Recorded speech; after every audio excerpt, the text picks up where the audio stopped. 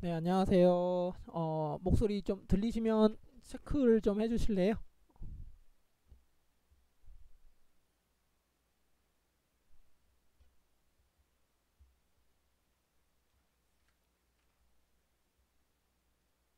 네, 알겠습니다. 그러면 잘 들리는 걸로 알고요. 자, 그러면 시작을 바로 하도록 하겠습니다.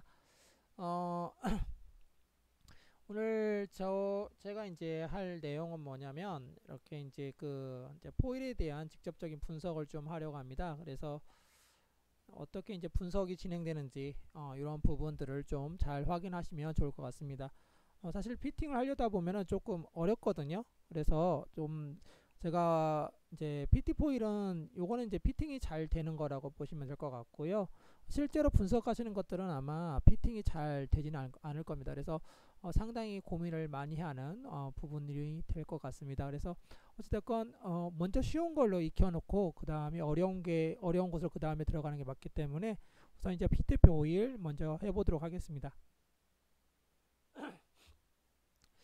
우리가 지금 이제 지난 시간까지 어, 했던 것이 뭐냐면 아테나에서 백그라운드를 제거를 했습니다. 이렇게 백그라운드를 제거 Autobk을 통해서 백그라운드를 제거를 했고요.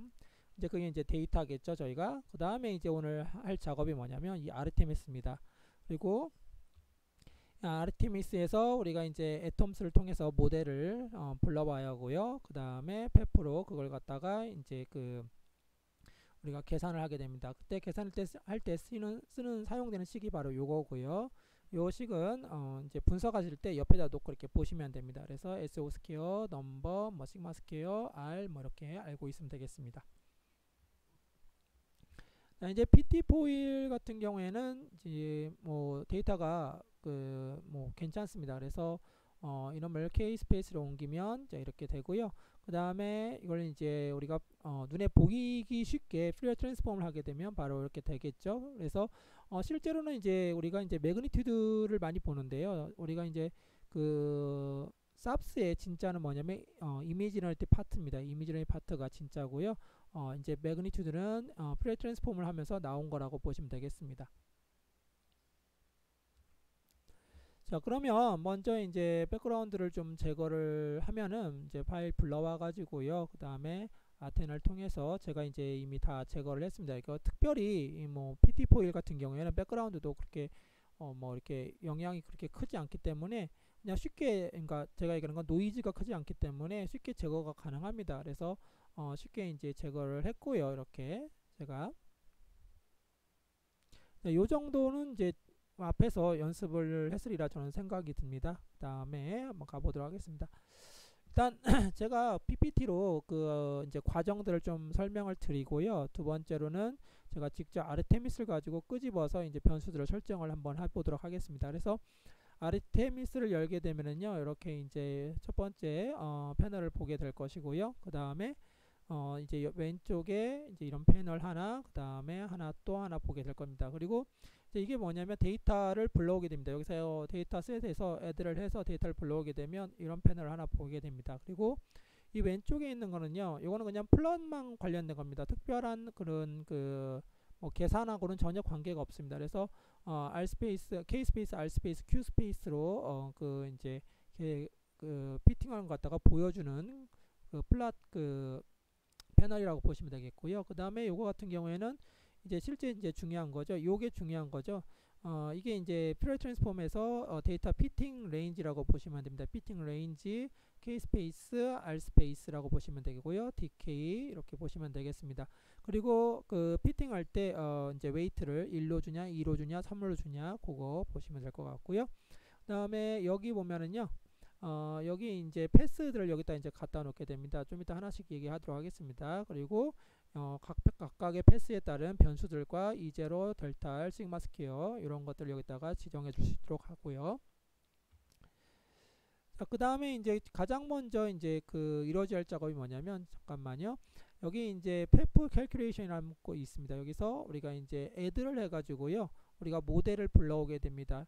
이게 이제 모델을 불러오는 게 어, ATOMS라는 그 우리가 어, crystallography의 정보를 불러올 수도 있고요. 또는 FEFF 자체를 불러올 수도 있습니다. 그래서 그 이제 atoms.inp 이게 뭐냐면 사실은 이제 crystallography에 대한 정보가 들어있는 거라고 보시면 됩니다. 그래서 어, atoms.inp라는 파일을 하나 이제 텍스트 파일로 이렇게 만들 수도 있습니다. 이렇게 이런 형태로 어, 만들 수 있고요. 또는 이제 이걸 받아올 수도 있고요. 그래서 어, 이걸 쓰면 되고요. 또는 우리가 이제 잘 알고 있는 CIF 파일 가지고 이제 불러오면 됩니다. 그래서 우리가 open file 해가지고요. 그 다음에 CIF 파일을 딱 불러오게 되면은 여기 보면은 이제 뭐 이건 PT 포일이기 때문에 PT 포일의 space group, 그 다음에 lattice constant, 그 다음에 포지션, 그 unit cell 안에서의 포지션 뭐 이렇게 보시면 되겠습니다. 그리고 어 cluster distance 어디까지 계산할 것이냐 이제 어 core atom 주위로 그 사이즈를 여기다가 적으면 되겠습니다. 다음에 이제 그 여기에서 ATOMS를 이제 여기 뭐 run을 이렇게 하면은요 어 이렇게 run을 하게 되면 이제 FEFF라는 어 이제 그 파일이 하나 만들어지게 됩니다. 이렇게 FEFF 그래서 어 FEFF라는 거 만들어지게 되고요. 그 다음에 그 FEFF를 다시 또 어, run을 하게 되면 이제 각각의 패스에 따라서 나오게 되는 거죠. 그래서 하나씩 하나씩 나중에 제가 요 요 그 PPT 설명이 끝나면 하나씩 하나씩 어, 해드리도록 하겠습니다. 그리고 그래서 이제 FEFF6 우리가 쓰는 게 사실 이제 FEFF6거든요. 이게 FEFF6인데 이 FEFF 어, 지금 현재는 이제 뭐 FEFF 8, FEFF 9 뭐 이렇게 나와 있습니다. 그래서 어, 저희가 쓰는 건 FEFF 6입니다. 옛날 겁니다. 근데 어, 그래도 크게 사용하는데 문제가 없는 게 뭐냐면 EXAFS 같은 경우에는 에너지가 크기 때문에 potential에 대한 영향이 그리 크지 않습니다. 어, 그래서 사실 이제 FEFF6 같은 경우에는 이제 muffin-tin approximation이라고 해가지고요. 이런 어, Dirac-Fock 했던 코드를 사용해서 이 potential을 이렇게 정해줍니다. 그래가지고 그걸 가지고 이제 그 계산을 하는 거거든요. 그래서 어, FEFF 7부터는요, 이제 그 Hartree-Fock 방법을 이용해가지고 potential을 계산을 다시 하게 됩니다. 근데 뭐 크게 어, EXAFS에서는 음, 그 이제 potential에 이렇게 이제 에너지가 크기 때문에 큰 영향을 주지 않기 때문에 이걸로도 충분합니다. 그 다음에 그러니까 FEFF 그 앞에서 말씀드린 것처럼 이제 FEFF 이쪽 밑에를 쭉 훑어보면은요 이런 형태로 되어 있습니다. 이렇게 이런 형태로 되어 있고요. 아까 PT 어 제가 Atoms에서 이제 만든 거죠. 그리고 potential이 이렇게 있습니다. 그래서 I potential Z 그 다음에 태그가 있고요. 그 다음에 이게 이제 그 컴퓨터가 이해하는 그 이제 요 포지션이라고 보시면 됩니다. 0, 1, 그 다음에 PT, PT 이렇게 보시면 되겠고요. 그 다음에 여기 그 Atoms 이제 이렇게 쭉 연결된 거거든요. 그래서 리스트가 쭉 보면은요, 55개 atom이 있고 XY 어그 XYZ 좌표에 각각에 대해서 첫 번째는 이제 그 core atom을 이제 얘기하는 거고요. 그 다음에 어, 요 나머지는 이제 두 번째부터는 이제 한 shell이죠, 얘가 어, 한 shell인데 어, 그거에 각각의 원자들의 위치를 지금 나타낸 거라고 보시면 되겠습니다. 어, 그리고 이제 그 이제 뭐 그래서 만약에 우리가 코어 애톰에서 여기까지만 우리가 패스를 결정할 그러니까 계산하고 싶다 그러면 3.9 뭐 3.0 정도만 계산하면 이쪽 패스를 계산하게 됩니다. 그래서 어 여기 보면은요 Rmax라고 적혀 있습니다. 이게 바로 그 코어 애톰부터 어디까지 그 계산할 것이냐 바로 그것이라 보시면 되겠고요. 이제 때로 이제 잘 측정을 안 하시는데요. polarization으로도 이제 우리가 측정을 가끔씩 하거든요. 이렇게 이제 그 bulk 같은 경우에는 polarization dependent하게 측정할 수 있고 또는 뭐 우리가 박막 같은 경우도 이렇게 측정할 수 있거든요. 그래서 동시 fitting도 뭐 가능하고 그래서 그때 이제 polarization을 쓰거든요. 근데 잘 쓰지는 않기 때문에 우선 여기서는 이제 놔두도록 하겠습니다. 일단은 우리가 이제 그 분석을 위해서는요 먼저 머릿속에 뭘 가지고 있어야 하냐면요 그 이제 구조를 다 갖고 있어야 합니다 머릿속에다가. 그러니까 예를 들면 이제 이게 이제 probe atom이 되겠고요 core atom이 되겠고요 각각의 주변에 이제 원자들이 어떻게 배치되어 있는지 머릿속에 가지고 있어야 합니다. 그래서 어 일반적으로 이제 그 이제 계산 이 FEFF로 해 보면은요 FEFF로 해 보면 이렇게 이제 이게 한 shell입니다. 그러니까 어, 12개의 PT가 2.77286에 있을 수 있습니다. 이렇게. 그 다음에 3.92가 그 다음에 있을 수 있고. 그러니까 보시면 이제 이 첫 번째 피크가 거의 한 2.772 정도, 77 정도 되는 포지션이 되겠죠. 12개.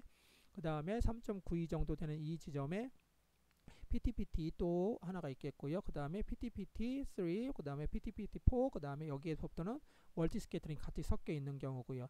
그래서 어 이제 우리가 이제 이러한 것들을 이제 이거는 사실 PT 같은 경우에는 어 이렇게 이제 구조적으로 잘 이루어졌기 때문에 포일 같은 경우에는 우리가 이제 머릿속에 쉽게 그릴 수가 있습니다. 근데 아마도 그 분석하는 물질들 같은 경우에는 구조를 머릿속에 그리는 게 쉽지 않을 겁니다. 그래 어, 그런데 어찌됐건 엑스합스는요 어, 기본적으로 모델이 있어야 합니다. 그래서 어, 모델을 자꾸 이제 바꿔가면서 또는 이제 모델 병 이렇게 이제 어, 원하시는 그러니까 생각하는 그 모델들을 준비하셔 가지고 계속해서 이제 잘 맞는 어, 모델을 찾아서 fitting을 할 수밖에 없습니다. 그게 바로 XAFS라고 보시면 됩니다. 그래서 어찌됐건 구조적으로 머릿속에 갖고 있다고 치고요. 저희는 이제 저는 이제 PT foil이니까 자 그러면 저는 이제 이 피크만 이제 맞추는 걸로 어, 이번 강의는 아마 마칠 것 같습니다. 먼저 이제 아까 FEFF를 이제 돌리게 되면은요. 자, 이렇게 이제 path들이 나옵니다. path들이. 그래서 어 2.77이 그 다음에 12개에 대해서 나오고요.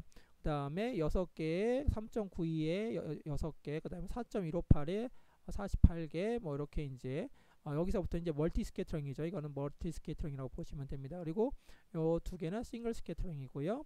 그래서 만약에 본인이 4.2까지 fitting하고 싶다 그러면 이제 요거까지 fitting을 해야 하니까 multi scattering multi scattering까지 고려를 하셔야 합니다. 그래서 그리고 rank는 뭐냐면 자 여기가 일단 100으로 놨을 때 첫 번째 scattering을 100으로 놨을 때 상대적인 그 어, 강도라고 보시면 됩니다. intensity라고 보시면 될 것 같고요.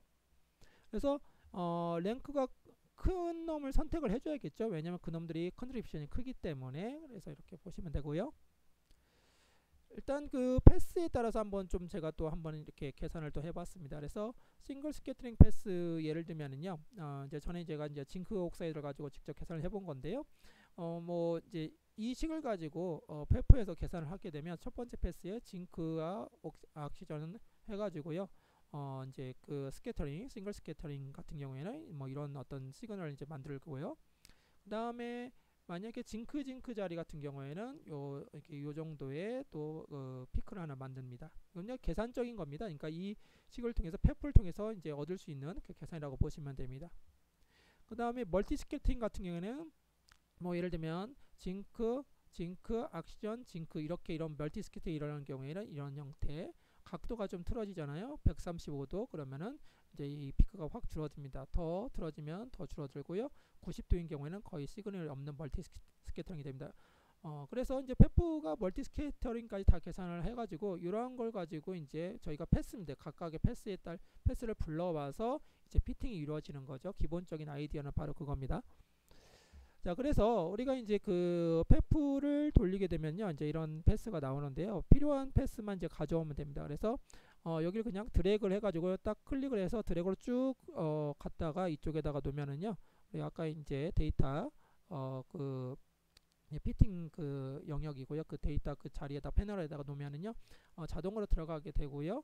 그 다음에 또 필요하면 내가 두 번째도 이렇게 갖다 놓을 수가 있습니다. 그래서 어 1번, 2번 놓고 필요하면 이제 만약에 이걸 피팅하고 싶다 그러면 include pass라고 하면 되고요. 어 만약에 이런 경우는요. 어 이제 패스를 추가하지 않는 경우입니다. 내가 어 하지 않겠다 그런 얘기입니다. 그래서 이렇게 갖다 놓으면 됩니다. 자, 그 다음에 그 이제 그 각각의 패스에 따라서요. 이제 보시면은요. 이제 라벨은 그냥 이제 뭐 라벨이라니까 놔두면 되고요. 넘버가 있습니다. 이렇게 넘버. 아까 이제 우리가 PT의 첫 번째 shell에 어, 그 12개 있는 거라고 보시면 되겠고요. 12개. 그 다음에 S0 square 있습니다. S0 square. 그 다음에 E0, delta E0. 이거 delta E0라는 건 뭐냐면 우리가 그 엣지 에너지로부터 얼마만큼 이제 fitting하면서 어, 에너지가 shift 하냐. 여기서 이제 보정이 들어갑니다. 여기서. 그 다음에 델타 R은 원래 모델이 갖고 있는 2.77이 아까 그, 그거였는데 거기서부터 어, 플러스 마이너스 얼마가 변할 것이냐 그거라고 보시면 되겠고요. 어, 시그마 square는 이제 그 Debye-Waller factor라고 보시면 되겠습니다. 그리고 imaginary part 에너지라고 보시면 되고요. 잘 쓰진 않습니다. 그리고 어, 3차, 4차라고 하는데요. 이게 이제 disorder 커지면 이 3차, 4차를 쓰게 됩니다. 그런데 어, 거의 이제 이것도 쓰지 않는다고 보시면 됩니다. 왜냐하면 전에도 말씀드린 것처럼 어, 사실 이제 EXAFS가 그 상당히 이렇게 이제 어, 백그라운드 제거에서부터요 에러들이 많이 포함되기 때문에 어, 이제 이런 부분들까지 쓰는 거는 조금 어, 사실 이제 좀 지양을 하긴 하죠. 저도 잘 쓰진 않습니다. 이 부분을 그래서 여기까지 해서 정해져 됩니다. 그래서 패스 하나에 변수를 지정할 수 있는 것들은 뭐냐면 일단 기본적으로 E zero 하나, 그 다음에 거기에 대한 그 거리에 대한 변수 하나, 그 다음에 어, 시그마 square 그거에 대한 변수라고 세 개 세 개 보시면 되겠고요. 그 다음에 이제 우리가 이제 여기서 이제 한 가지 트릭을 좀 써야 합니다. 뭐냐면요, SO 스퀘어가 이제 원래는 이제 사실 정해야 합니다. 처음에 이제 메탈 그 물질마다 이게 이제 그 atom마다 이렇게 SO 스퀘어가 결정되어 있거든요. 그래서 어 이제 SO 스퀘어에 원래는 이제 여기 그냥 1로 잡힐 겁니다. 그냥 1로 잡힐 건데요. 이렇게 1로 잡히면 안 됩니다. 왜 1로 1로 잡히면 얘는 뭐 아무런 그 relaxation, relaxation 효과가 없기 때문에 이제 이걸 구해야 하는데 저는 이미 구해가지고 0.86이라고 제가 바꿔놨습니다. 그리고 여기다 NPT라고 제가 하나 고쳐서 고쳐놨습니다. 이게 지금 조금 이제 이해가 안 될 수가 있습니다. 뭐냐면요. 한번 식을 좀 볼게요. 예. 여기 식을 보면은요. SO square 곱하기 n입니다. 이렇게 SO square 곱하기 n. 그러니까 무슨 말이냐면요. 여기가 지금 원래는 그냥 그렇게 불러면요. 예를 들면 12개 한 개라고 되어 있습니다. 그러면 여기 12 곱하기 1이 아니 여기가 10이고요. 여기가 1이 되는 거죠. 근데 잠시만요. 제가 그러니까 n이 12개가 지금 현재 되는 거고요. 그 다음에 얘가 1이 된다는 얘기죠. 근데 얘가 사실 1이 아니라는 얘기죠. 이게. 그죠? 1이 아니니까 요 놈을 다르게 이제 바꿔줘야 합니다. 그래서 어 이제 이 놈을 제가 0. 이건 이제 제가 잡 이걸 찾은 거죠. 86으로 잡아주고요.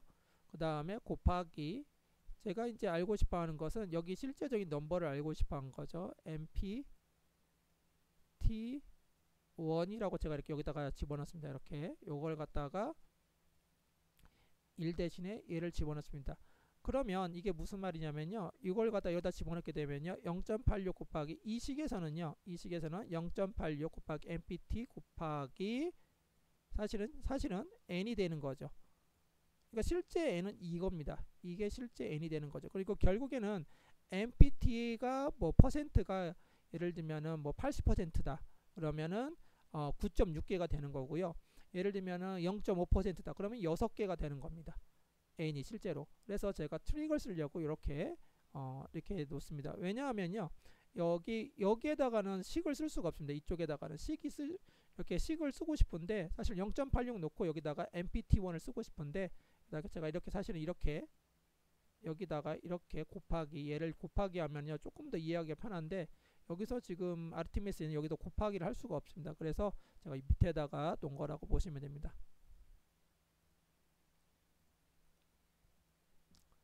자, 어쨌든 이렇게 이제 세팅을 하고요. 그러면 결국에는요, 그 한 패스에 따라서 어, PT1 하나, 하나, 그 다음 변수가요, 이제 우리가 맞춰야 할 그 피팅 파라미터가 하나, 둘, 셋, 네 개가 되는 겁니다. 그러니까 네 개가 되는 거라고 보시면 되고요. 만약에 얘가 하나 더 패스가 증가하면 결국에는 총 몇 개가 되냐면 여덟 개가 되는 거죠. 그죠? 근데 변수가 많아지면요, 이제 이게 피팅은 컴퓨터가 이제 지 마음대로 막 가거든요. 그래서 변수가 많아지면 어, 피팅이 잘 될 수도 있어요. 그런데 어, 이게 어, 믿을 수 있는 그런 피팅이 안 나올 수 있습니다. 자, 그 다음에 이제 이렇게 변수를 지정해 줍니다. 아까 제가 얘기했던 거 패스 1에 대해서 12개 이렇게 정해 주고요. 그 다음에 얘는 PT고 얘도 PT이기 때문에 이제로도 같이 제가 이렇게 놨습니다. 이제로도 이런 것들은 이제 어 이제 조금 이제 아이디어라고 보시면 되겠습니다. 이제로를 어 굳이 이제로 1, 이제로 2라고 제가 놓을 필요가 없기 때문에 이제로 이제로 이렇게 놨습니다. 그 다음에 여기는 6개, 그 다음에 MPT2, 그 다음에 D2. 그래서 변수는 이제 이렇게 된다고 보시면 되고요. 결국 이제 요거 하나, 둘, 셋, 넷, 여기도 하나, 둘, 셋 이렇게 되는 거죠. 총 7개가 되는 거죠. 그리고 GDS 어, 그 아테나의 그 왼쪽에 보면 GDS가 있습니다. 그래서 GDS를 열게 되면은요. 여기에다가 이제 변수를 전부 다 이제 지정을 해줘야 합니다. 그래서 MPT1, E0, DPT1, DP, 어, 시그마 T, 어, PT1, 그 다음에 MPT2 이렇게 이제 정, 정해줍니다. 그리고 우리가 타입은요, 거기서 이제 좀 어, 주의 깊게 밝게 게스하고 그 다음에 하나는 set하고 그 다음에 define입니다.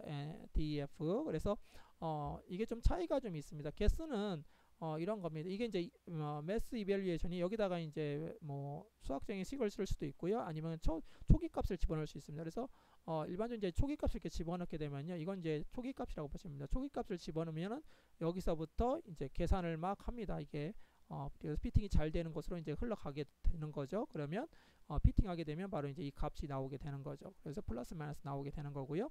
이게 개수고요.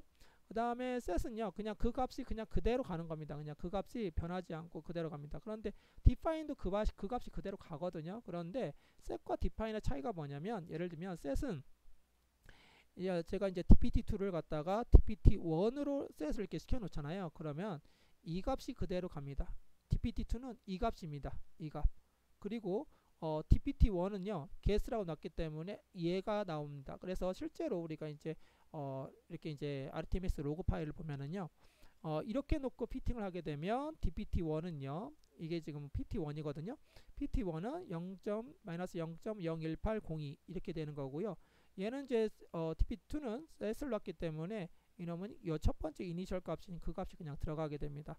그래서 만약에 근데 define은 좀 다릅니다. Define은 그 값을 기준으로 이제 변경된 값이 들어갑니다 무슨 말이냐면 예를 들면 어, 게스가 어, 이게 이제 시그마 1입니다. 시그마 1이 0.005에서 이제 얘는 이제 뭔가 이제 피팅하게끔 시킨 거죠. 그러면 얘가 이제 변하겠죠. 그리고 어, 시그마 2는 제가 얘하고 얘하고 같다 이렇게 놓습니다. 이렇게 이렇게 define 어, def를 놨습니다. 그렇게 되면요 어떻게 되냐면 이놈이 이렇게 변했는데 요 값이 얘가 들어가는 겁니다. 그 변한 값이 들어간다고 보시면 됩니다. 이렇게 그래서 어, 우리가 이제 set을 쓸 거냐 또는 def를 쓸 거냐 이걸 결정을 해 주셔야 합니다. 이렇게 보시면 되겠습니다. 네, 그리고 이제 데이터 PC는 이제 뭐 이렇게 이제 피팅 여기를 누르면 되겠죠. 아까 GDS는 여기 있고요. GDS는 여기 있고 fit을 누르게 되면은요. 어, Artemis 로그 파일을 볼 수가 있습니다. 그래서 어, 로그 파일에서요. 이제 좀 유심 있게 봐야 할 것들은 이제 여기 위에 있는 거, 특히 이제 어, 나중에 제가 이제 이것도 설명을 드리겠습니다. 다음 시간에 independent point number of variable이 뭔지 좀 어, 나중에 이제 설명을 드리고요. 어, fitting이 잘 됐냐 안 됐냐는 이제 두 가지를 보시면 됩니다. reduce chi-square 하나 하고요. r 팩터를 보시면 되겠습니다. 그래서 어, 이렇게 이제 reduce chi-square r 팩터를 보시면 되고요. 어, 그 다음에 여기 밑에 보시면요. guess parameter라고 해가지고 약간 이제 variable로 왔던 e0, 그 다음에 dpt1, 그 다음에 어, 시그마 pt1, dpt2, 어, 시그마 어, 이제 pt2라고 이제 이렇게 보시면 되겠습니다. 이 GDS에서요. 여기 그 변수들의 이름은요. 어, 본인이 원하시는 이름 아무거나 놓으면 됩니다. 대신에 얘하고 얘는 또 동일해야 합니다. 얘하고 얘는 이쪽에서 이쪽에 있는 변수들은 다 써줘야 합니다. 이쪽에다가 그렇게 보시면 되겠습니다. 자, 그 다음에 여기 보면 이제 중요한 거인 뭐 correlation 요것도 이제 여기 나오고요. 이렇게 보시면 되겠습니다. 그래서 어, 그래프도 이제 이렇게 어, 그려지는 걸 볼 수가 있습니다. 음, 그래서 0.005면 어, fitting이 괜찮은 fitting이고요. 일반적으로 0.02보다 작게끔 하는 게 이제 R 팩터에서 어, fitting이 그래도 믿을 수 있는 fitting이다라고 이제 이렇게 얘기를 합니다.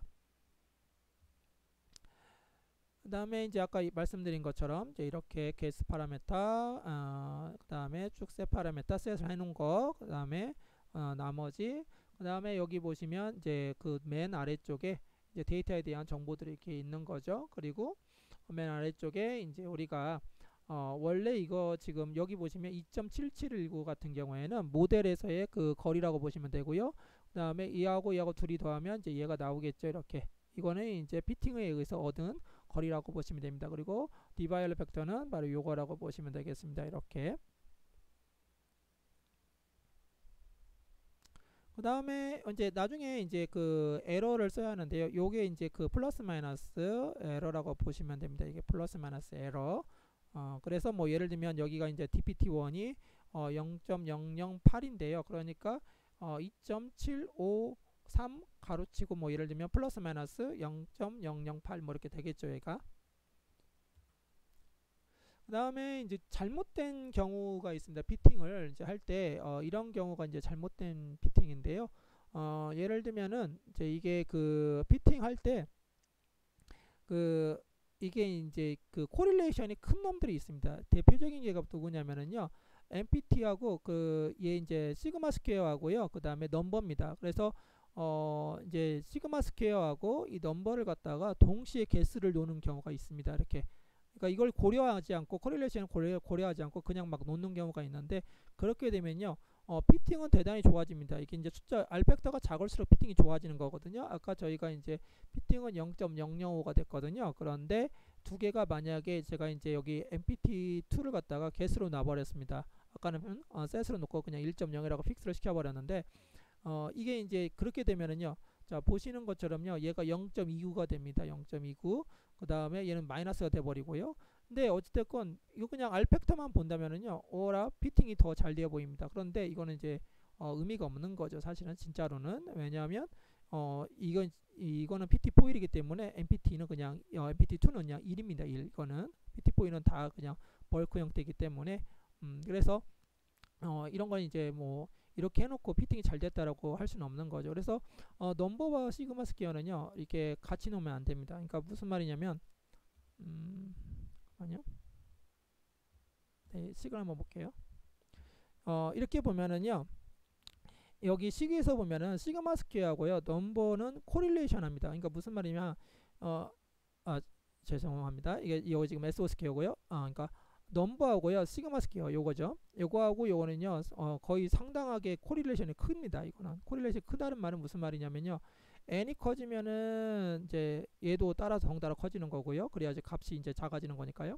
N이 작아지면 얘도 덩달아서 이제 작아지는 거죠. 그러니까 무슨 말이냐면 예를 들면 이제 우리가 이, 피, 이 피크를 한번 보도록 하겠습니다. 예를 들면 PT foil입니다. 이제 뭐 여기 PT foil이 이제 예를 들면은 우리가 이건 뭐 PT foil이 아니다고 하더라도 여기에 여기에 있는 개수를 정하고 싶은 거죠. 여기에 과연 PT가 몇 개나 되느냐 뭐 이렇게 정했을 때 정하고자 할 때 n과 시그마 square를 전부 다 개수로 놓고 그냥 fitting이 잘 되는 걸로 그냥 정해 놓게 되면은요. 얘는 그냥 fitting이 잘 되는 걸로 정해지게 됩니다. 그러다 보면은요. 이 넘버는 전혀 그 실제적인 넘버랑 관계없이 fitting만 잘 되는 걸로 그냥 가게 되는 거죠. 그러면 물리적 의미가 없는 거죠. 항상 주의할 건요. fitting을 하실 때 제일 중요한 건 뭐냐면 물리적인 의미가 있는지 없는지가 중요합니다. fitting이 아무리 잘 됐어도요. 물리적인 의미가 없으면은요. 그건 garbage입니다. 그냥 쓰잘데기 없는 겁니다. 그래서 어, 이렇게 이제 correlation이 큰 경우에는 이제 우리가 하나를 fix를 시켜놓는 방법이 있습니다. 그렇게 보시면 되겠습니다. 일단은 여기서 이제 어, 이제 요거는 제가 조금 있다가 다시 돌아봐서 설명을 드리도록 하겠습니다. 우선 어, 일단 제가 이렇게 이제 뭐 대충 이제 먼저 뭐 이렇게 아르테미스를 안 보여드리고 일단은 설명을 드렸는데요. 혹시 뭐 여기까지 해서 질문이 있으시면 질문 주시고요. 어, 제가 이제 지금부터는 아르테미스로 어, 제가 이제 PT, PT, 피팅을 좀 보여드리도록 하겠습니다.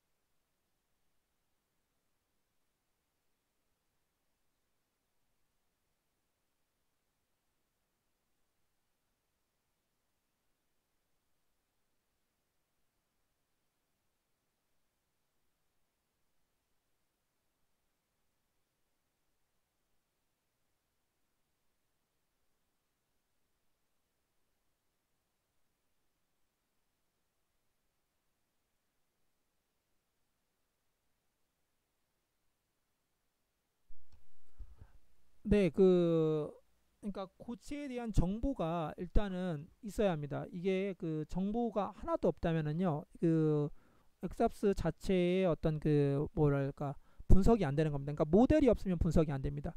그러니까 예를 들면요, 네 이럴 수는 있습니다. 그러니까 모델을 세울 때 예를 들면은 제가 이제 뭐 예를 들면 뭔가 타이타늄의 어떤 oxide 어떤 형태로 어떤 물질이 이렇게 돼 있습니다. 그러니까 뭐 뭔지는 모릅니다. 어떤 형태인지 모르는데 어쨌건 local 구조가 어찌됐건 뭔가 타이타늄의 어떤 형태가 돼 있다고 치면은 그러면 이제 그 기본적인 구조는 우리가 이제 bulk에서부터 항상 시작을 하거든요. 그래서 기본적인 구조인 그 타이타늄 oxide, rutile이나 anatase 이걸로 이제 fitting을 들어갈 수 있습니다. 그러니까 어 그러니까 뭐 아무것도 없다고 하면요. XAFS는 할 수가 없습니다. XAFS 자체가 우리가 모델을 세워서 하는 거기 때문에요. 그래서 기본적인 어떤 정보는 필요합니다. 반드시 그 모델에 대한 그리고 아까 제가 말씀드린 MPT1은요, 뭐 이렇게 특별한 의미가 없습니다. 그냥 PT1의 그 개수를 제가 그냥 변수로 그렇게 놓은 겁니다.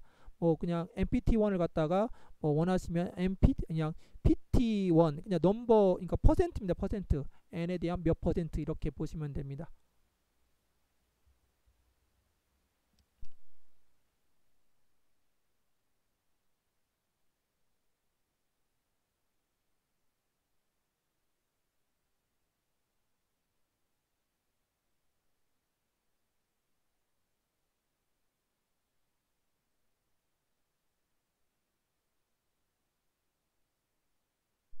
네, 그 XAFS는요. 그 구조일 필요가 없습니다. 그러니까, 그러니까 crystal일 필요가 없습니다. 이거는 이제 local 구조이기 때문에 어떤 그 원자, 그러니까 특정 원자, 그러니까 특정 원자의 주위에 누가 존재하냐 이런 거죠. 예를 들면 컴플렉스 같은 경우에는요. 우리가 이제 그 뭐요 이제 주위에 예를 들면은 이제 oxygen들이 존재하겠죠. 메탈 같은 경우에는 그런 메탈들이 보입니다. 메탈들이 이렇게 complex는 뭐 크게 어, 그런 것들도 다 보이거든요. 그러니까 이게 이제 주변 원자가 어떻게 있느냐가 중요한 거지 이게 결정 구조가 어떻게 있느냐가 중요한 것보다는 주변 원자들이 어, 그룹별로 있느냐 어, 이게 그룹별로만 있으면은요 어, 엑스합선은 다 보입니다.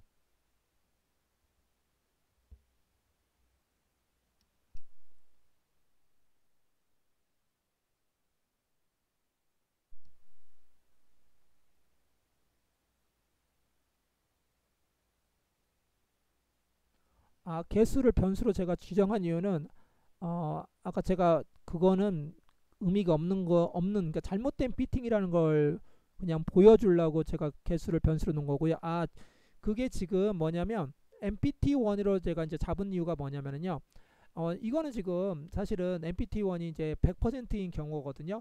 근데 만약에요. 거기에 아까 말씀하신 것처럼요. 어, 베이컨 씨가 존재한다 그러면 실제로는 어 12개가 아니겠죠. 그러니까 PT는 이제 주변이 12개거든요. 근데 12개가 아니겠죠. 그러면은 뭐 어, 얼마인지 우리가 이제 몇 개가 존재하는지 그 넘버를 결정하려고 주변 원자 개수를 결정하기 위해서 제가 MPT1으로 놓은 거라고 보시면 됩니다.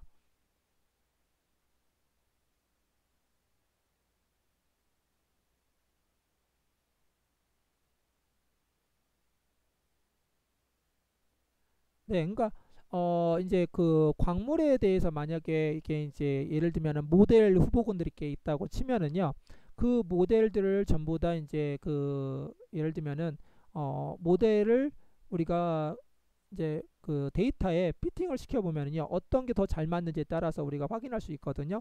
만약에 굳이 이제 저는 이제 그렇게는 이제 지금 뭐 이렇게 어떤 물질인지 모르니까 그런데 어, 예를 들면은 A라는 모델 가지고 했더니 피팅이 잘 맞고 B라는 모델 갖더니 피팅이 안 맞는다. 그럼 당연히 A 모델이 맞았기 때문에 A 형태의 광물을 갖고 있다라고 볼 수 있는 거죠. 그렇게 보시면 됩니다.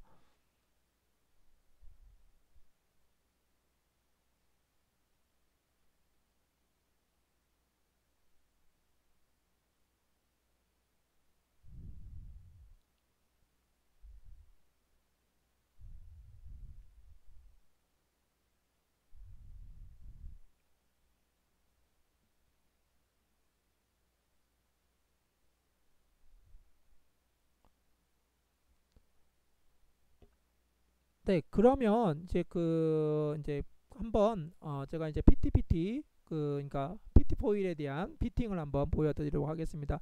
일반적으로 음, 아, 네, 하나 더 질문이 있네요.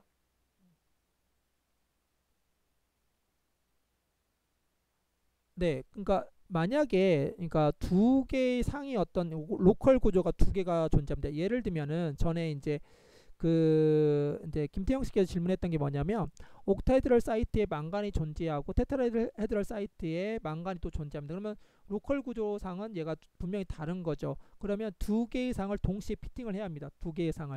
어 그것도 가능합니다. 여기서 그러니까 모델을 불러올 때 어 이제 우리가 어디 core를 찍느냐가 문제입니다. 그러니까 예를 들면은 어 octahedral 그 core에 있는 망간을 찍어서 어 FEFF를 계산하게 되면 이제 그게 이제 그 octahedral 주변에 있는 것을 이제 계산할 수 있는 거고요. 그 다음에 tetrahedral site에 있는 놈을 찍게 되면은 tetrahedral site를 찍게 되는 거죠. 그런데 실제로 우리가 보는 XAFS는요, octahedral과 tetrahedral 어, 두 개가 다 나온 겁니다. 그래서 fitting할 때는 두 개를 octahedral과 tetrahedral 둘 다 불러서 fitting을 진행해야 합니다.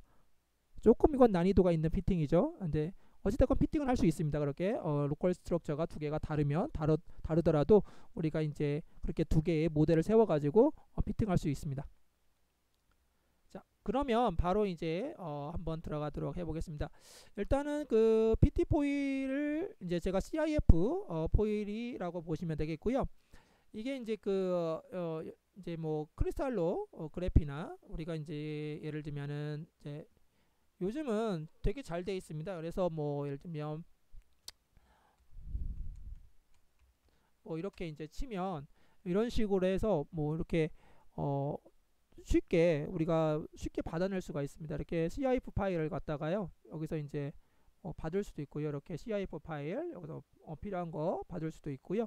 또는 크리스탈로그래픽으로 어 데이터베이스에 들어가 가지고도 할 수 있습니다. 그래서 예를 들면 여기 보시면 여기 가서요. 어 서치 해 가지고 어 CIF 파일을 받으면 어 이제 얼마든지 어 우리가 이제 input 파일을 만들 수 있다 이렇게 보시면 되겠습니다. 그래서 이제 뭐 일단 그 구조죠. 얘는 이제 bulk 구조를 불러온다고 보시면 됩니다. 우선은 Atoms에서 bulk 구조라고 보시면 되겠고요. Atoms 자체, 그러니까 이게 지금 불러오는 파일이 어, bulk 구조고요. 만약에 이게 아니고요. 직접 이렇게 Atoms라는 파일을 하나 만들 수도 있습니다. 이렇게 텍스트를 쳐서요. 근데 이제 이렇게 하려면 어찌됐건 space group, 그 다음에 뭐 lattice constant, 각도, 어, R maximum, 뭐 위치 이런 걸 다 알아야 하기 때문에 좀 복잡하죠. 이거는 어, CIF 파일을 어, 찾는 게 가장 좋겠습니다. 만약에 CIF 파일이 없다면은요, 일단은 bulk 구조에 본인이 하시는 거에 어떤 그 bulk 구조 비슷한 걸 찾는 게 좋습니다. 이렇게 bulk 구조 비슷한 거를 거기서부터 시작을 해야 하니까요. 어찌됐건 물질이 만들어지면 어쨌건 bulk 형태의 어떤 구조가 상당히 안정화하거든요. 예를 들면 zinc oxide다. 그러면 제가 zinc oxide를 뭐 예를 들면 솔루션 안에서 합성을 했습니다. 그러면 solution에서 뭐 얘가 나노가 되든 뭐 particle이 되든 어찌됐건 기본적으로 zinc oxide의 어떤 그 어, local 위치를 따라갈 거예요. 그러니까 제가 이제 만약에 저가 한다 그러면 어, zinc oxide CIF 파일 가지고 이제 시작을 하겠죠. 그렇게 시작을 하면 됩니다. 자, 그래서 일단은 뭐 제가 이제 여기 어, 열어놨고요. 그 다음에 dataset을 불러오게 됩니다. 그래서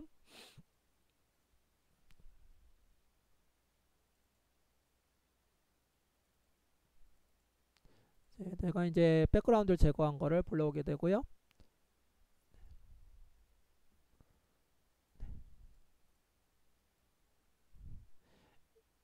일단 제가 이제 사실은 이 피팅이 이게 강의하는 게 사실 쉽지는 않습니다. 이게 왜냐하면은 이 이제 그 이게 이제 뭐 이거야 지금 음 이제 PT니까 어 좀 뭐 이렇게 난이도가 그렇게 어렵지는 않습니다. 근데 어 이제 제가 뭐 다음 다음 시간에 zinc oxide nano particle을 할 건데요. 그러면은 이제 그런 거 같은 경우에는 어 이제 직접 다 이렇게 손을 봐야 하거든요. 그래서 손을 봐서 fitting이 그래도 제일 잘 된 걸 보여드려야지 안 그러면은 이제 뭐 좀 다 같이 헤매니까요. 그러니까 그러려면 좀 시간이 걸리거든요. 사실은 어 그래서 어쨌건 제가 이제 이 fitting도 제가 이제 여러 번 해봤기 때문에 이제 뭐 이렇게 할 수 있는 거지 뭐 그냥 할 수 있는 건 아닙니다. 어쨌건 한번 이제 보도록 하겠습니다. 먼저 잠깐만요. 음 네. 일단은 저희가 이제 데이터 불러왔고요. 그 다음에 여기 보면은 이제 fitting할 수 있는 range라고 해서요. 어, 저 같은 경우는 이제 어, fitting을 그냥 이제 어, 이제 제가 했던 게 조금 더 3.5에서 한 11 정도 이거 관계 없습니다. 이렇게 정도 뭐 3.0 에도 관계는 없고요. 데이터가 괜찮기 때문에 11로 일단 해놓겠습니다.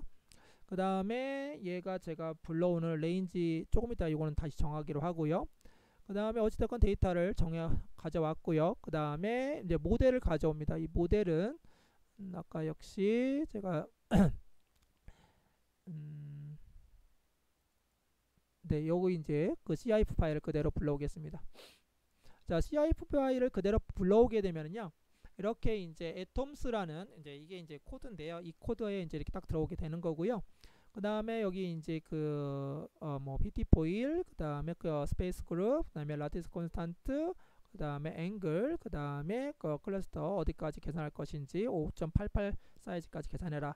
이게 이제 XRD하고 다른 거는 뭐냐면 core atom 주위로부터 이제 그 거리라고 보시면 됩니다. 그리고 포지션 이렇게 보시면 되겠고요. 그 다음에 이걸 그냥 런 애톰을 하게 되면은요. 이렇게 페프가 만들어집니다. 이렇게 페프가 쭉 만들어지고요. 필요에 따라서요. 이 페프를 이제 원하시면 이제 그 지우거나 다시 만들 수도 있습니다. 그래서 뭐 예를 들면은 여기 지우겠다 그러면 그냥 지우시면 돼요. 이때 놓고 딜리트 하면 지워집니다. 어, 이렇게도 어, 할수 있다는 것만 그냥 보여드리는 거고요.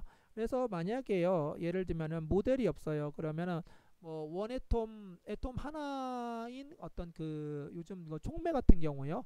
그러니까 뭐 니켈 atom을 carbon에다가 올려가지고 뭐 이렇게 하는 총매들이 있거든요. 그런 경우에는 모델이 없습니다. 그러면 직접 그 bulk 그냥 bulk 구조 유사한 bulk 구조를 만들어 놓고 그다음에 여기에다가 각각의 모델의 position을 여기다가 정해줘야 합니다. 이렇게 그냥 그리고 난 다음에 어, 이놈을 돌려줘야 하는 그런 상황이 됩니다.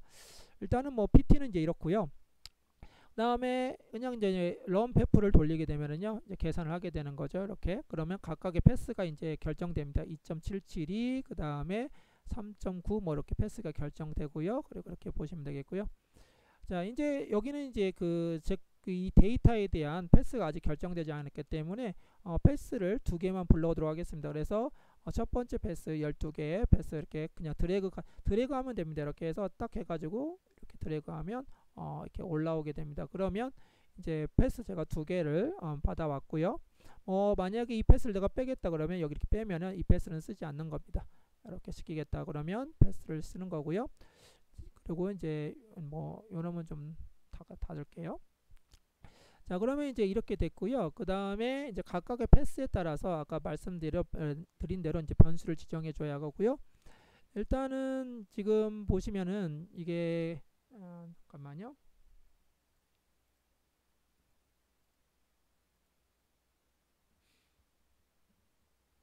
네, 이제 그 여기 다 정해져 있습니다. 이제 SO 스퀘어가 지금 그냥 1로 잡혀 있는데요. 여기에다가 제가 뭐 아무 뭘 쓸 수가 없습니다. 여기다는 아무것도 쓸 수가 없고요. 자 대신에 이제 여기에다가 제가 어 그 이렇게 S0 square 0.86 이렇게 하나 놓을 거고요. 그 다음에 곱하기 MPT1 자 이게 왜 MPT1이냐면 혹시 이제 이거는 뭐 사실 그폴 같은 경우에는 어 이게 이제 MPT1이 1이거든요. 1이라는 건 100%라는 얘기고요. 얘하고 얘하고 곱해서 넘버라고 보시면 됩니다. 12하고 어이 그 MPT하고요. 이게 지금 음, 화면상이 잘 이게 확대가 안 돼서. 그래서 두 개가 지금 곱하면 되는 거고요. 그래서 어, 나중에 만약에 베이컨시가 존재한다 그러면 이 값들이 이제 이 MPT1이 이제 작아지겠죠. 자, 그렇게 보시면 되겠고요. 그 다음에 어, EP0 저는 이렇게 쓸게요. 그 다음에 EP0 그 다음에 델타 R 이건 이제 DPT1이라고 저는 하고요. 그 다음에 size PT1 이렇게 쓰겠습니다. 그리고 다음에 여기 변수 하나 지정했고요. 그 다음에 여기도 똑같이 이제 또 정할 수 있겠죠. 그래서 여기는 0.86 어, SO 스퀘어가 0.86이기 때문에 이렇게 잡으면 되고요. S0 square는 어떤 특정한 값을 이제 그러니까 만약에 예를 들면은 이제 그 S0 square 결정할 때는요. 제가 이제 뭐 다시 한번 말씀을 드릴 텐데요. 이 S0 square는 그 전자가 나갔을 때 또는 들어왔으니까 나갔을 때의 원자들의 어떤 relaxation factor거든요. 그러다 보니까 어, 이놈은 이제 perfect한 크리스탈로부터요. 우리가 이제 Pt의 어떤 그 perfect한 크리스탈부터 어, 이놈을 찾아냅니다. 그리고 난 다음에 다른 그 구조에다가 쓸 수 있는 거죠. 예를 들면 어, 제가 저 같은 경우는 Pt foil로 얘를 찾아낸 거죠. 그리고 얘를 찾아내고 난 다음에 어, 이놈을 갖다가 Pt 파, 어, 나노 particle 같은 경우에는 다 0.86으로 다 해서 어, 쓰는 겁니다. 이렇게. 자, 그래서 요거 같은 경우에는 제가 이제 또 변수를 써주면 mpt2라고 제가 적어 놓겠습니다. 그리고 얘는 이 pt 제로라고 아까 제가 ept 제로라고 썼죠? 이거 EP, EP 제로라고 썼구나. ept 제로, ept 제로 같이 그 다음에 dpt2 얘의 변화 그 다음에 시그마 GPT2라고 제가 이렇게 놓겠습니다. 그 다음에 이제 이렇게 정해주면 안 되고요. 이제 이건 이제 변수들을 제가 이제 다 지정해 준 겁니다. 변수들 여기다만 놓은 거고, 실제로 이제 이걸 변수들을 갖다가 개수로 할 거냐, 또는 다른 걸 할 거냐고 여기다가 이제 제가 정해 주는 거죠. 그래서 예를 들면은 여기다가 가장 먼저 하면은 보시면 m mpt1 이렇게 놓을 거고요. 그 다음에 어, ept 0그 다음에 이제 순서대로 tpt1 어, sig pt1 이 변수 명이 똑같아야 합니다. 이렇게 그 다음에 여기는 mpt2 그 다음에 아, dpt2 gpt2 이렇게 놓고요. 그 다음에 초기 값을 정해줍니다. 초기 값을 잘못 정해주면요. 피팅은 산으로 갑니다. 그래서 어, 얘는 이제 어찌됐건 뭐 벌크기 때문에 제가 그냥 1로 놓겠습니다. 이게 1일 이유는 없습니다. 이게 어, 1이라는 건 100% 다시 얘기하면 첫 번째 패스에서 12개라는 얘기고요. 얘는 벌크기 때문에 이렇게 놓는 겁니다. 퍼펙트 하기 때문에 놓는 거고 그 다음에 이제로는 초기 값을 제가 0으로 놓겠습니다. 왜냐하면 우리가 엣지에서 그러니까 이제 플러스 마이너스기 때문에 일단 0부터 시작해야 어 이제 뭐 기본적으로 왔다 갔다 하기 때문에 0으로 놓고요. 그 다음에 얘도 마찬가지겠죠. 어떤 모델에서 어떤 0 주위로 이제 모델의 그 2.77 주위로 왔다 갔다 하겠죠. 분명히. 그리고 어 시그마 square 같은 경우에는 최소 0.003입니다. 근데 어, 얘 같은 경우에는 0.005 정도 이렇게 놓고 시작을 해도 되고요. 어, 이제 이게 이제 0.003, 0.005면 어, 상당히 잘 구조를 이루고 있는 어, 주변 구조가 이루고 있다고 보시면 됩니다. 그래서 어, 이것도 그냥 제가 0.005 어, 그 다음에 0으로 놓고요. 그 다음에 얘도 제가 이제 1로 놓겠죠. 그리고 얘 같은 경우에는 셋으로 놓겠죠. 제가 이렇게 됐습니다.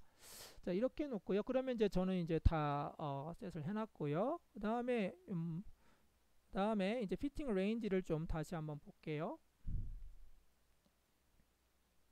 자 우리가 지금 path를 두 개를 불러왔는데요. 얘가 지금 3.92까지입니다. 그러니까 우리가 여기 3.92까지면 3. 예를 들면 어 3.95 3.4까지 할까요? 이렇게 4 정도 이렇게 해놓고요. 그 다음에 예를 들면 뭐 0.7 뭐 이렇게 해도 되겠죠. 자 이렇게 영역 잡아주고요. 그 다음에 이제 그렇고 난 다음에 이제 비트를 돌리면 됩니다. 이렇게 저는 이 스토리 안 할 거니까. 자 그러면 자 이렇게 됩니다. 어, 자 아까 제가 말씀드린 것처럼 이렇게 이제 피팅이 어, 이렇게 쭉 되는 걸 볼 수가 있습니다. 그래서 뭐 크게 나쁘지는 않습니다. 그래서 어, 0.005, 0.4 이런 식으로 쭉 되는 거고요. 그 다음에 조금 그림 그래프상 사실 이제 이쪽의 contribution이요. 이쪽 같은 경우에는 이제 그 이렇게 되는 이쪽 같은 경우에는 이게 지금 SP2 여기가 P2네요. 그러니까 어 3.92 정도, 요 정도가 3.9인데 요게 이제 그 다음 거하고도 영향이 있습니다. contribution이 있기 때문에 여기에 잘 안 맞는 거고요. 어, 지금 제가 원한 건 요 여기 부분 여기 부분입니다. 그래서 여기 부분은 우리가 시그마 이제 Pt1 0.005 정도 된다 이렇게 보시면 되겠습니다. 그래서 크게 뭐 데이터 fitting은 뭐 이거는 이제 무난하기 때문에 이렇게 이제 제가 데이터 fitting을 한 거고요. 자, 그 다음에 마지막으로 이거는 되게 간단한 겁니다. 이건 되게 잘 된 거죠. 그냥 정말 운도 좋고 만약에 진짜 이런 걸 걸리면은요 어, 그냥 금방 졸업이 가능하십니다 어, 이런 걸 걸리면은 그냥 근데 이제 일반적으로 이런 거 안 걸리죠 이렇게 안 걸리고 정말로 어, 우리가 소위 말하는 정말 욕 나오는 것이 걸리면은요 졸업을 못 하실 수도 있습니다 그러니까 피팅이라는 게 뭐냐면 이게 이제 모델을 잘못 세우거나 그러니까 모델을 모르거나 또는 이제 이게 잘 맞춰지지 않는 경우도 있습니다. 잘 맞춰지면 한 3일이면 끝나는데 잘 안 맞춰지면 한 6개월도 안 끝납니다. 그런 어, 아무튼 암울한 경우도 있으니까요. 아무튼 잘 판단을 하셔야 합니다. 자, 그 다음에 자 이렇게 마지막으로 하나만 더 보고 질문을 받도록 하겠습니다. 자, 요거 하나 보겠습니다. 자, 이제 그 SO 스퀘어를 좀 결정하는 방법을 좀 말씀을 먼저 드리도록 하겠습니다. 어, 이게 좀 조금 이제 이거는 이제 대단히 중요한 거죠. 조금이 아니라 대단히 중요한 거죠. 뭐냐면 우리가 이제 그 SO square 같은 경우에는 제가 말씀드린 것처럼 넘버를 알 수 있는 놈을 가지고 정의합니다. SO 스퀘어는 예를 들면은요. 음, 이게 이제 PT foil은 넘버를 알죠. 얘가 12개라는 거 분명한 건. 제가 12개라는 걸 압니다. 이, 어, 왜냐면 예, perfect crystal이기 때문에. 그런데 여기에 이제 제가 여기를 넘버는 알고요. 제, 제가 알고 싶은 건 바로 이제 이거죠. 이거.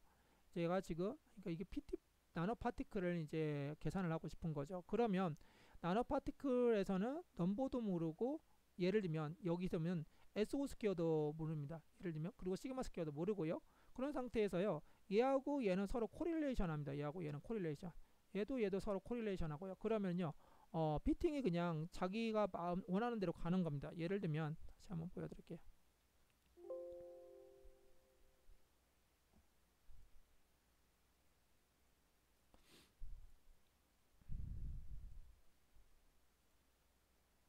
잠깐만요. 어, 예를 들면 제가 얘를 계수로 놓습니다. 얘를 얘를 계수로 놓는다는 말은 무슨 말이냐면 NPT2하고 어, sigma PT2 그러니까 시그마 2죠. 이거를 갖다가 동시 fitting을 하겠다는 겁니다. 이러면은요 fitting이 잘 됩니다. 이렇게 놓으면요 fitting이 더 잘 됩니다. 이렇게 그리고 로그 파일 봐도요. 로그 파일이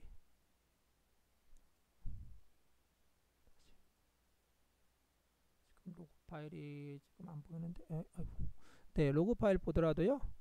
보면요. 훨씬 아까는 0.005 이 R factor가 0.005였는데 0.0017 훨씬 좋죠. reduced chi square도 낮아졌으니까요.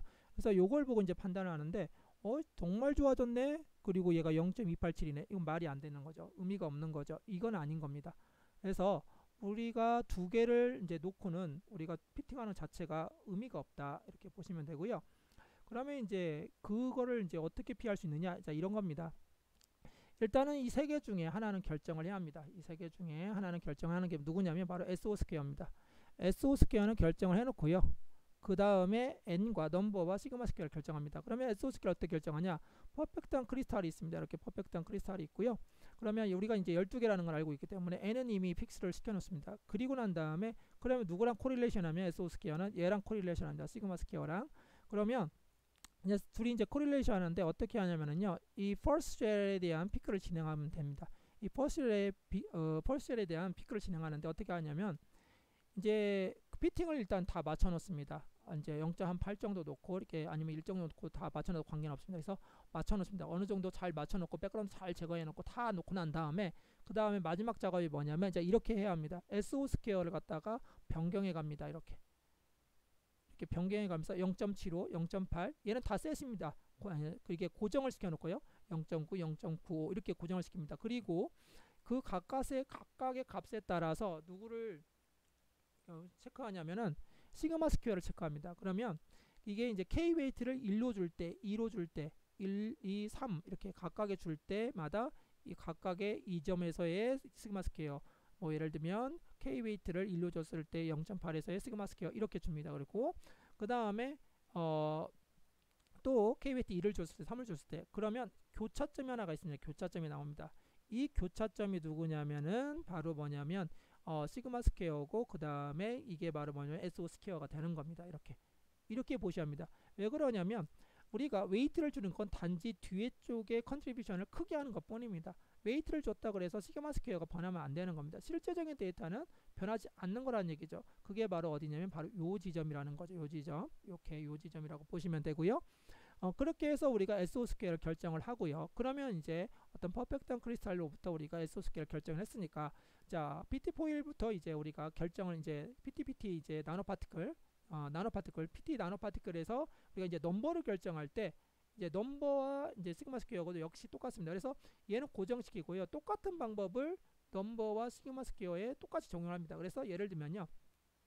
PT5다. 그러면 이 first peak 같은 경우에도 마찬가지로 여기 영역을 정해놓고 그 다음에 이렇게 똑같이 5.4, 5.7, 6.1 이렇게 해가지고 넘버를 변화시키고 그 다음에 각각에 따라서 이제 그 K 웨이트를 준 거에 따라 계산 그래프를 그리면 됩니다.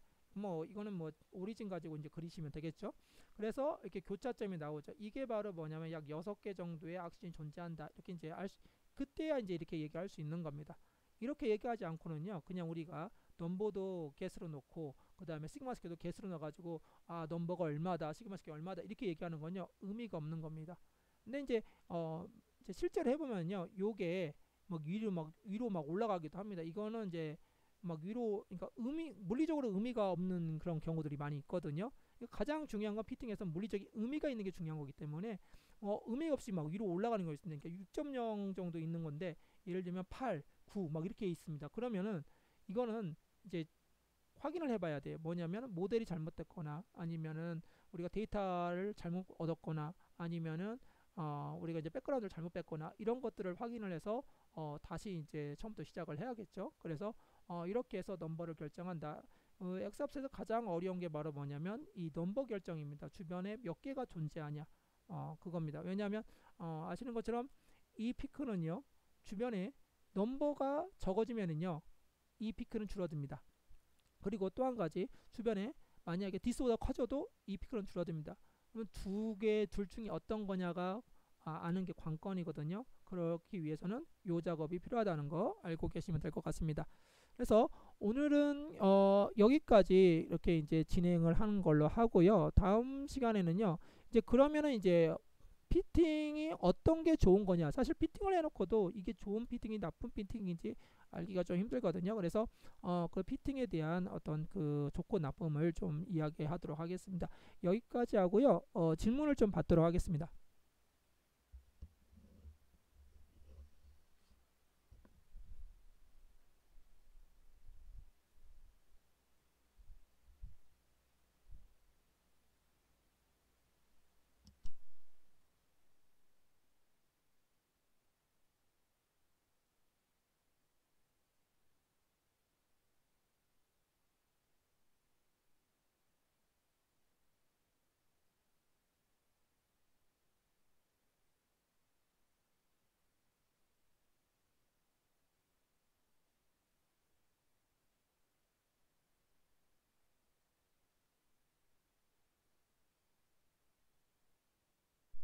네, 시그마 square는 크게 두 가지를 가지고 있습니다. 뭐냐면 어, 서멀 바이브레이션에 의한 어, 원자들의 진동 하나 하고요. 그 다음에 우리가 static disorder라 그래가지고 어, 실제로 어, 원자들이 이제 주변 원자들이 이렇게 이제 디스오더된 정도라고 보시면 됩니다.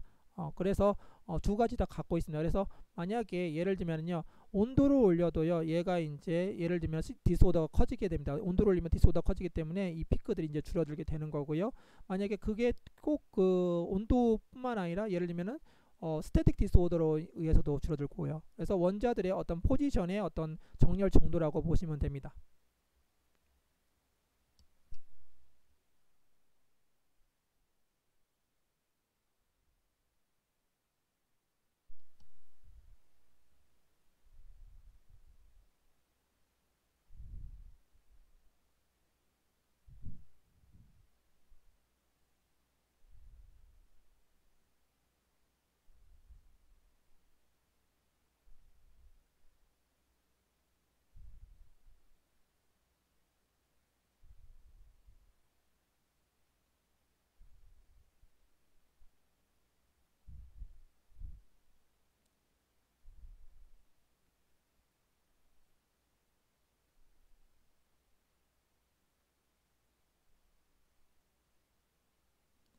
네, 그 SO square는요. 그러니까 전에 제가 이제 앞에 강의를 좀 보셔야 할 것 같습니다. 그래서 그 제가 설명을 드리긴 했는데요. 그 그러니까 뭐냐면은요. 이게 이제 원자가 있으면 이게 이제 원자 코어고요. 그다음에 주변에 전자가 있으면요. 이 전자가 이제 엑스레이에서 나가 이렇게 나가는 거죠. 그러면은 이 atom은요 전체적으로 이렇게 이제 줄어들 겁니다. 그거에 의한 그 효과를 리더 그 시그마 스퀘어 그러니까 SO 스퀘어 시그마 스퀘어나 SO 스퀘어로 표현한 거라고 보시면 됩니다.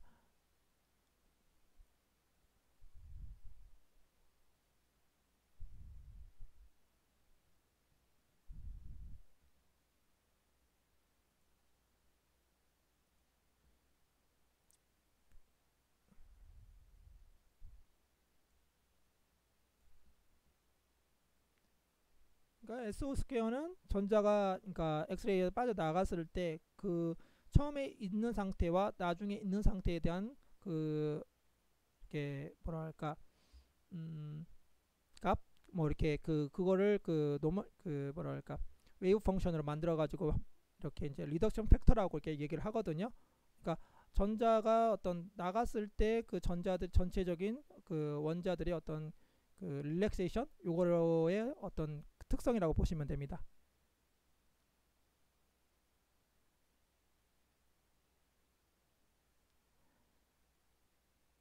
네, 그러니까 그 뭐 예를 들면은요, 그러니까 이런 경우가 있는 거죠. 예를 들면은 지금 어, 싱글 스케이터링만 고려하면 되는 거 이게 꼭 그렇지만은 않습니다. 그러니까 뭐냐면 음,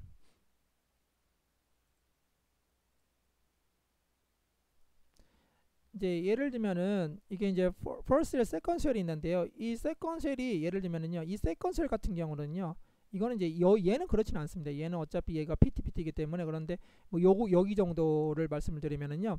얘가 한 네, 한 5, 4, 5 정도 되는데 여기 같은 경우에는 single scattering에 의해서도 만들어지지만요. multi scattering path에 의해서도 만들어지는 겁니다. 그러면 만약에 본인이 여기에 대한 거를 계속 하겠다 그러면은 우리가 이제 만약에 4, 5까지 이렇게 내가 하겠다 그러면 multi multi scattering을 고려를 해야 하는 겁니다. 이런 경우에는요.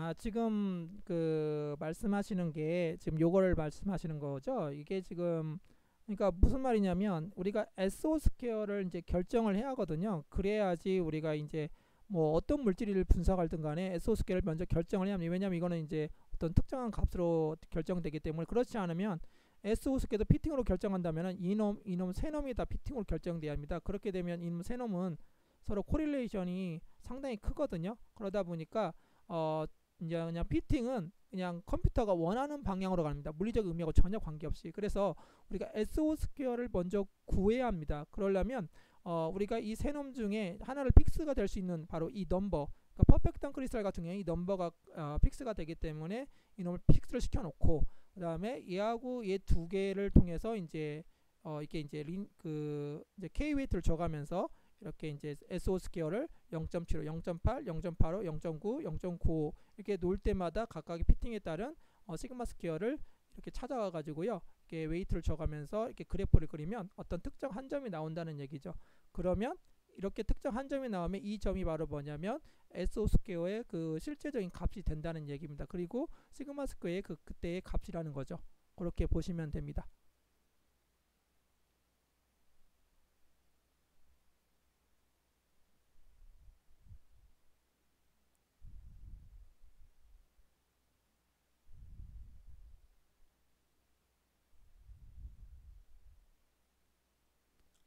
네, 일반적으로 0에서 1 사이입니다. 그렇게 보시면 됩니다. 에소스퀘어는 어, 1은 될 수 없고요. 0, 0에서 1 사이 이렇게 보시면 됩니다. 왜냐하면 릴렉세이션 팩터이기 때문에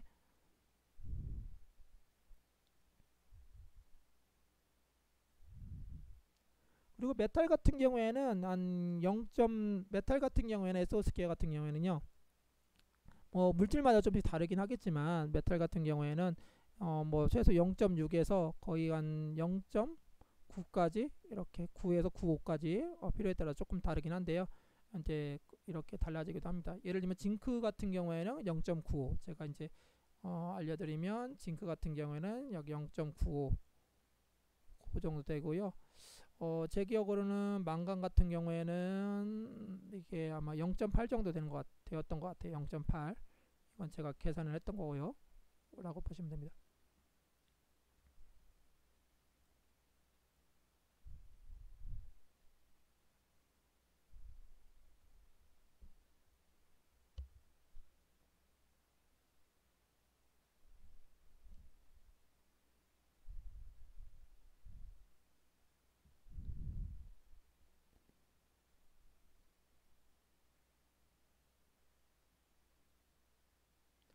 네, 그 0.05로 제가 줬던 거는요. 그러니까 그거는 이제 어떤 경험적인 거죠, 사실은. 왜냐하면 어, 저 같은 경우는 이제 어찌됐건 피팅을 많이 해보고 그 다음에 10년 넘게 하니까 어, 요 정도 피팅은 0.0. 근데 지금 얘, 얘 같은 경우에는 예를 들면은 이제 PT 포일이기 때문에 포일 같은 경우에는 어, 이게 이제 구조가 잘 이루어져 있거든요. 그러니까 제가 이제 어, 구조가 잘 이루어졌다는 것은 한 0.05 정도 놓게 되면 이놈이 0.010 사이에서 이제 거의 왔다 갔다 하거든요. 그러니까 잘 맞죠. 만약에 어 이제 그 이제 뭐 제 경험상 다 그런 건 아니겠지만 뭐 second peak가 이렇게 낮아지는 뭐 nano particle 같은 경우에는 0.015 이렇게 놓고 어 하셔야 합니다. 그래야지 그 무슨 말이냐면 만약에 이제 이런 거 말고 이렇게 뭐 나는 이렇게 이제 이렇게 되는 어떤 이런 식으로 되는 이제 나노 particle 같은 경우에 있습니다. 그러면 second 피크를 우리가 하고 싶다 그러면 이건 상당히 disorder가 큰 게 있거든요. 그러면 0. 제가 같은 경우에는 13 정도 놓고 이제 시작을 하겠죠. 저 같은 경우 초기 값을 이렇게 어 그러면 이제 어 이제 좀 뭐 얘가 커지거나 작아지거나 할 겁니다. 만약에 이게 안 되면 이제 값을 초기 값을 다르게 해가면서 할 수밖에 없는 거죠. 또 아니면 0.13 또는 0.15 뭐 이렇게 잡아서 하시면 됩니다.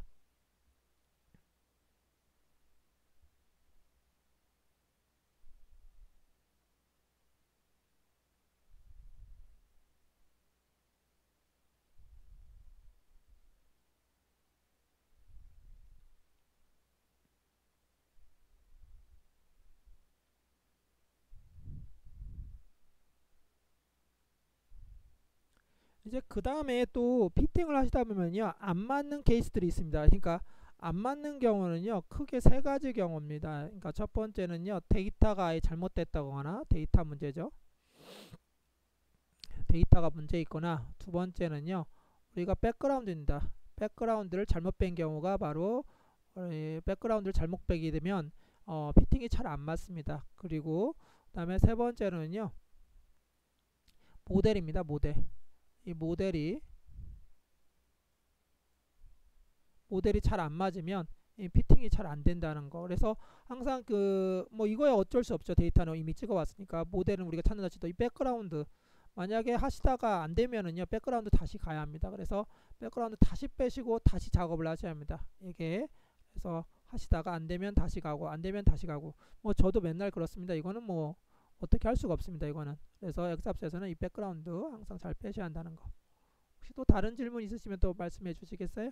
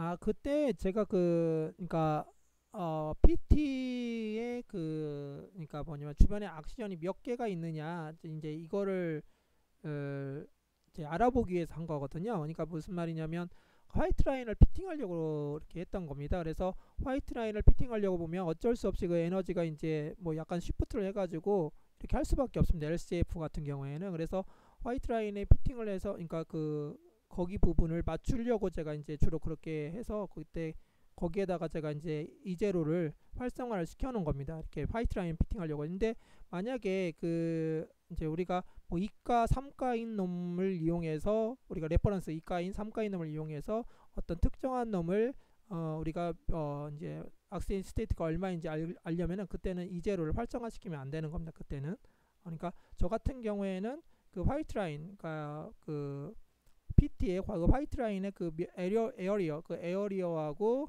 그다음에 그 넘버랑 어떤 관계가 있느냐 이걸 보기 위해서 활성화를 시켰던 겁니다. 이거는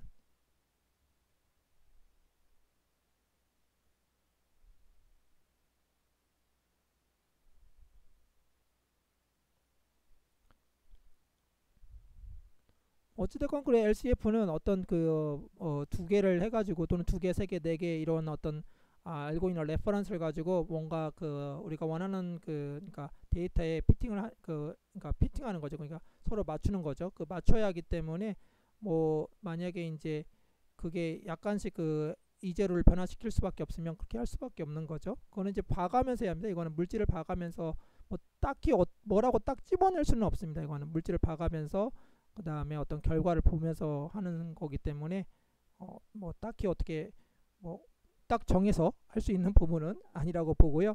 만약에 아까 저처럼 white line을 이렇게 어, 하고 싶다 그러면은 그때는 이제 뭐 그 E zero를 활성화시켜도 되는 거지만 만약에 oxidation state를 우리가 edge 부분의 oxidation state를 알고 싶다 그러면 fix를 시켜야 하는 거고요.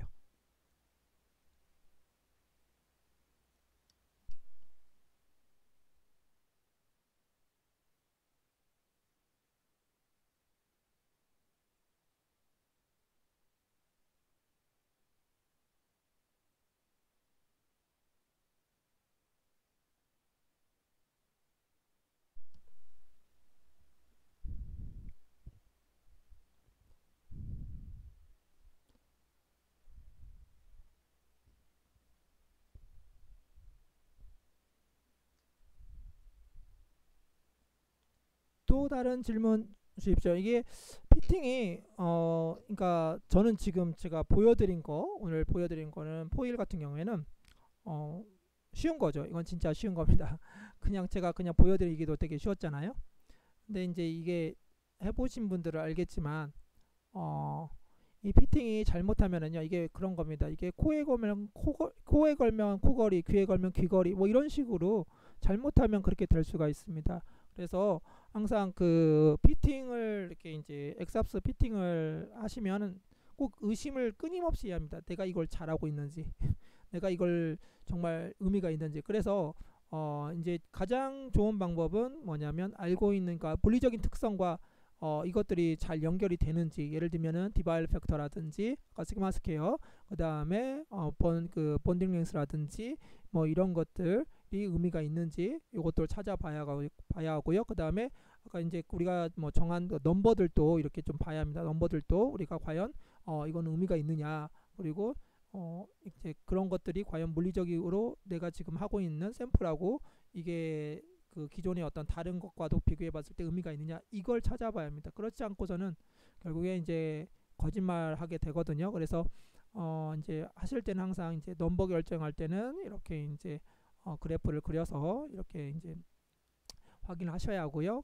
그 다음에 이렇게 했다 할지라도 어, 이게 이제 물리적으로 그러니까 내가 알고 있는 내 샘플에 대한 정보랑 안 맞으면 다시 바꿔야 합니다. 그래서 어, 저 같은 경우에도 어떤 분이 의뢰를 들어오게 되면은요, 어, 일단은 가장 먼저 하는 것은요, 그 물질에 대해서 정보를 최대한 얻는 겁니다. 그러니까 내가 분석하고자 하는 물질의 구조라든지 XRD 패턴이 있다면 XRD 패턴이라든지 또는 템 사진이면 템이라든지 뭐 이런 것들을 최대한 얻어놓고 그 다음에 이 그 엑삽스를 이제 들어가게 됩니다. 그렇게 해야만이 어, 좀 더 빠르고요. 그 다음에 모델을 좀 더 잘 세울 수가 있습니다. 그래서 어, 그렇게 해서 어, 이제 제가 계산한 것과 또 다시 어, 이제 또 비교해 보고 만약에 비교해 봤는데 엑삽스가 조금 어, 뭔가 문제가 좀 어, 시원찮다 그러면 다시 아까 얘기했던 백그라운드 다시 빼고 뭐 이런 작업을 계속 해야 한다는 거죠. 음, 그러니까 좀 힘들죠 사실은. 그래서 다음 시간에 제가 진행할 이 부분은 상당히 또 중요한 부분이긴 합니다. 아마 이 부분은 조금 어려울 겁니다. 왜냐하면 fitting이 이게 이제 제가 리, 어, R-factor라든지 어, reduced chi-square 그런 개념들을 좀 설명을 드릴 건데요. 어, 좀 이제 어, 그냥 들어보시고요. 그 다음에 어, 뭐 다른 질문을 하셔도 됩니다. 그래서 어, 한번 이제 들어보시면 될 것 같습니다. 혹시 다른 질문 또 있으신가요? 어, 다른 거 뭐든지 괜찮습니다.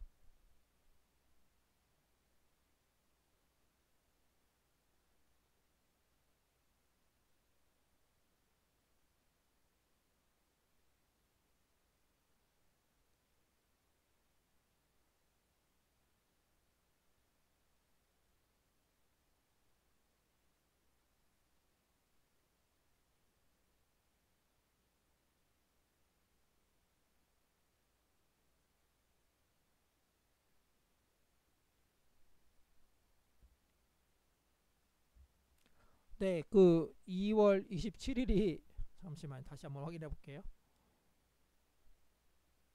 네, 국대가 마지막 강의입니다. 어, 제가 이제 학기가 시작하면 이제 저도 이제 시간이 좀 없어서요. 그건 좀 힘들 것 같고요. 원래 제가 이제 그 어, 원래 이제 계속 추가적으로 젠스 계산하고 그 다음에 어 이제 그 LCO죠. 이제 배터리 LCO를 하려고 했는데 어 그거는 아마 제가 그냥 여름 방학 때 어 제가 이제 다시 한번 뭐 공지를 드리거나 아니면 그냥 영 그 유튜브로 그냥 영상을 올려놓도록 하겠습니다. 그렇게 보시면 될 것 같습니다. 아무튼 지금까지 따라와 오셨다면 어, 대단히 훌륭하신 겁니다. 어, 좀 상당히 어려웠을 텐데. 음.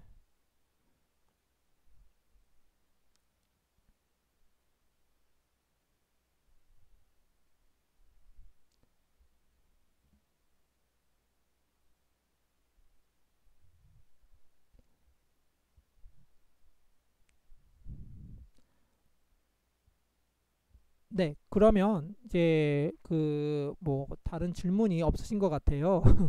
그래서 좀 집에 가서 아, 집에 지금 집이신지 모르겠지만 어찌됐건 간에 어 그 간단하게 어 PT 포일 이런 거 좀 잘 한번 또 이렇게 연습 한번 해보시고요. 그 다음에 어 이제 다음 시간에 어 저하고 좀 필요하시면 어 이렇게 좀 대화를 좀 더 나누면 좋을 것 같습니다. 네, 오늘도 고생하셨습니다.